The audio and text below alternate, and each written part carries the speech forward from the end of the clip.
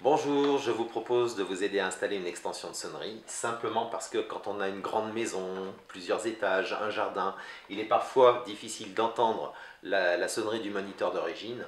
Alors, ce que je vous propose, c'est simplement le modèle Extensi. Extensi est une sonnerie supplémentaire très facile à installer simplement parce qu'elle est sans fil, équipée d'un petit émetteur que je vais placer à côté de mon moniteur et qui va venir donc déclencher à distance mon carillon et ainsi je vais pouvoir être averti de la présence d'un visiteur à mon portail.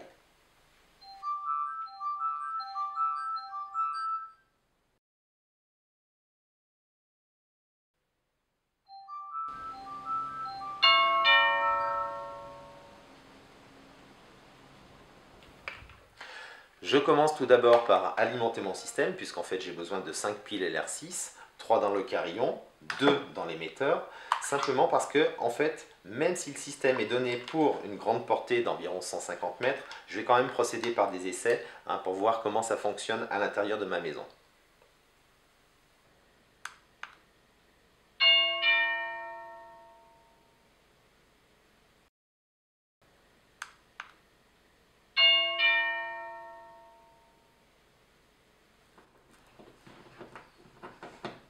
Voilà, j'ai installé mon boîtier euh, émetteur juste à côté de mon moniteur, alors le plus près possible du haut-parleur de la sonnerie.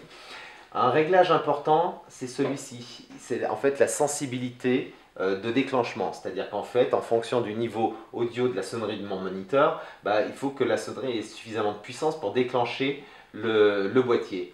La petite LED rouge ici indique qu'il y a transmission vers le carillon.